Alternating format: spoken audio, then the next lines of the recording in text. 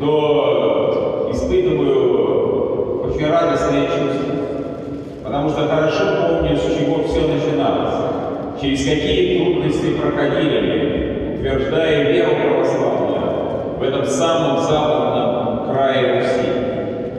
И перед сегодня перед нами стоят, может быть, не меньшие задачи, чем, чем в то самое трудное время, когда создавались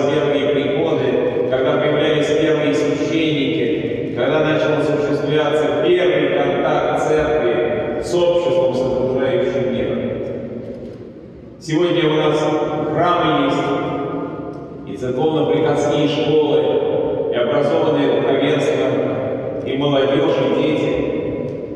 Но тем не менее, совершенно очевидно, что Отечество наше, как и весь мир, вошло в особую полосу культурных потрясений, когда сошла на нет инерция, созданная распадом атеистического государства, когда сильны были поиски духовной истины, когда люди тысячами обращались ко Христу и находили утешение в избранном ими жизненном пути.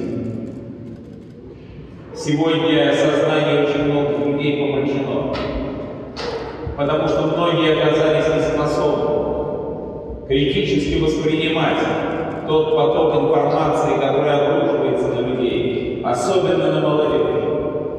И увлекаемые страстями, увлекаемые тем, что называется соблазном, многие не находят в себе силы увидеть Христа и пойти за ним.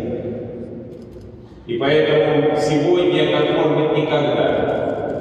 должны с удвоенной энергией работать. Духовенство должно нести паствы свои, Слово Христовой истины, являть пример доброй жизни, любви к. Приходы наши должны сплачиваться, становиться действительно христианскими общинами, способными трудиться вместе Христа ради, укрепляя веру православную в жизни народа. Я знаю, что многое доброе совершается на нашей Калининградской земле, но хотел бы всех нас призвать к еще большим трудам во славу Господа. История Отечества нашего в 20 веке была наполнена трагическими моментами. И ведь прошли через все эти скорби, и искушения, и испытания, и сохранили веру.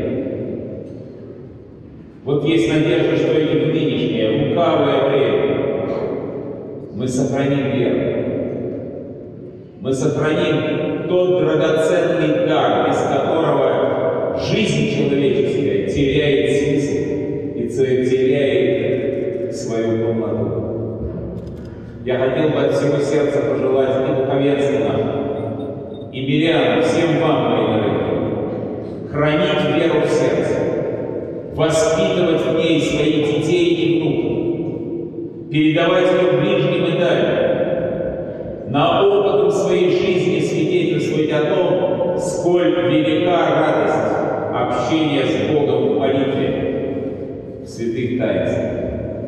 И верим, что нашими совместными усилиями мы будем не только возводить рукотворные храмы, но будем храмы созидать в душах человеческих, укрепляя в первую очередь самих себя, свои убеждения, свой христианский взгляд на окружающий нас мир. Пусть благословение Божие, покров Пречистой Царицы Небесной, молитвы угодников Божьих в стране нашей просиявших, всех нас Господь сохранит на спасительном пути жизненном. Аминь. С праздником вас приветствую.